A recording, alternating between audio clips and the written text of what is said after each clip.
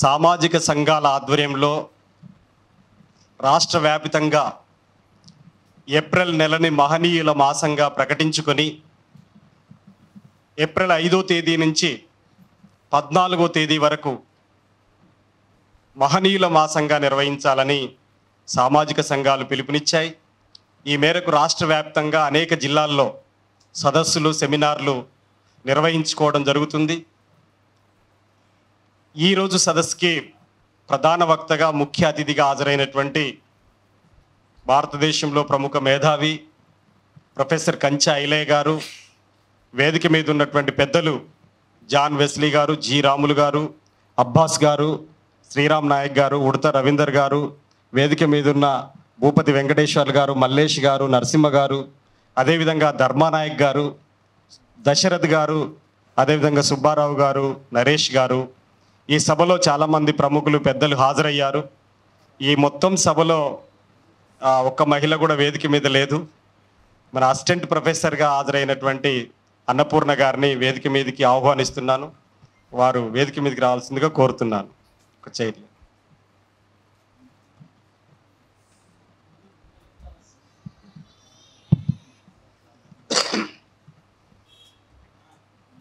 ఈ సదస్సు యొక్క ముఖ్యమైనటువంటి ఉద్దేశాన్ని కరపత్రం రూపంలో ఇప్పటికే రాష్ట్ర వ్యాప్తంగా ప్రచారంలోకి తీసుకొచ్చాం.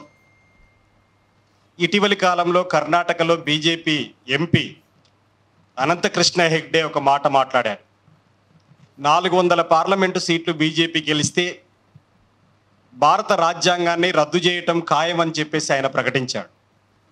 అంతకుముందు నిజామాబాద్ పార్లమెంటు సభ్యుడు ధర్మపురి అరవింద్ బీజేపీ పార్లమెంటు సభ్యుడు బాజాప్త భారత రాజ్యాంగాన్ని మార్చేస్తామని చెప్పి చెప్పారు.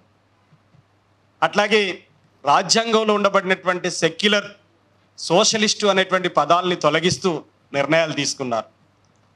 దీని ద్వారా అర్థమవుతున్నది ఏమిటంటే ఈరోజు బీజేపీని నడిపిస్తున్నటువంటి ఆర్ఎస్ఎస్ ఈ భారత రాజ్యాంగం అనేటువంటిది మాకు పనికిరాదు.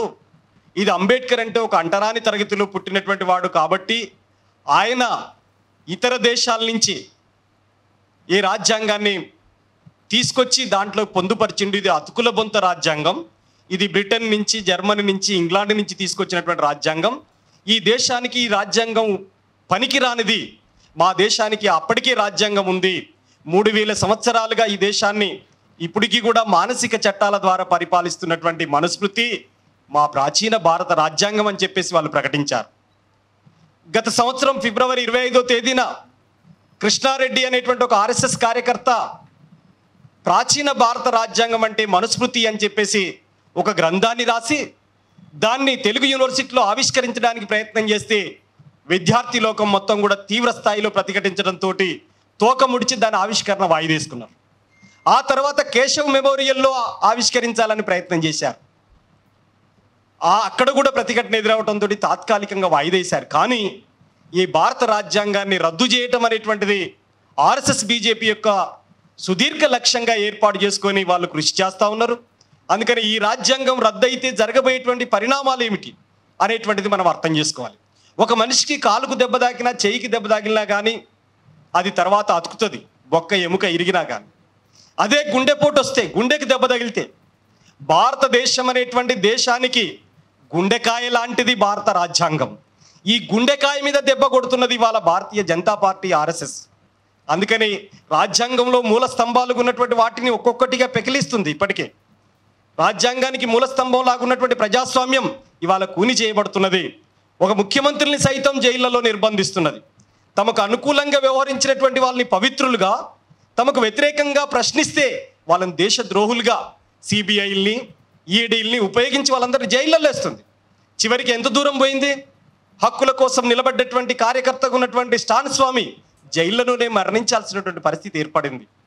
చివరికి ఇటీవలి కాలంలో ఎనభై శాతం సంపూర్ణ వికలాంగుడు ఉన్నటువంటి సాయిబాబా ఏమైపోయిండు? మనం చూసాం మూడు వేల ఐదు వందల యాభై ఎనిమిది రోజులు సుమారు పది సంవత్సరాల పాటు జైల్లో మగ్గిండు.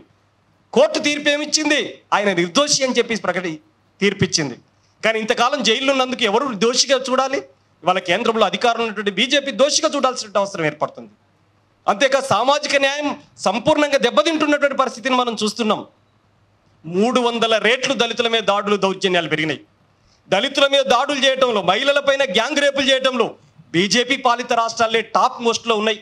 ఎన్సీఆర్బి లెక్కలన్నీ ఇవే చెబుతున్నాయి. ఉత్తరప్రదేశ్ అనేటువంటిది కేంద్ర బిందువుగా ఉంది. ఇరవై ఆరు శాతం దాడులు ఇవాళ ఉత్తరప్రదేశ్లో జరుగుతున్నాయి మధ్యప్రదేశ్లో జరుగుతున్నాయి హర్యానాలో జరుగుతున్నాయి. ఇవన్నీ కూడా జరుగుతున్నటువంటి పరిస్థితి ఉంది. అందువల్ల ఇవాళ సామాజిక న్యాయం అనేటువంటి లేకుండా పోతుంది. ప్రభుత్వ రంగ సంస్థలని కారు చౌకగా అమ్మటం వీటన్నిటి వల్ల జరుగుతున్నటువంటి ప్రయత్నాలు ఈ దేశంలో ఉన్నటువంటి అట్టడుగు తరగతులకు ఉన్నటువంటి దళితులు గిరిజనులు బలహీన వర్గాల యొక్క నోట్లో మట్టి కొట్టి వాళ్ళ కడుపులు కొట్టే విధంగా ఇవాళ కేంద్ర బీజేపీ సర్కార్ ఆలోచన చేస్తున్నది. ఈ రాజ్యాంగం ఎదుర్కొంటున్నటువంటి సవాళ్ళని ప్రతిఘటించాలి. ఈ దేశ ప్రజలందరూ కూడా భారతీయులుగా బ్రతకాలి అంటే భారత రాజ్యాంగాన్ని కాపాడుకోవాల్సిన అవసరం ఉంటుంది.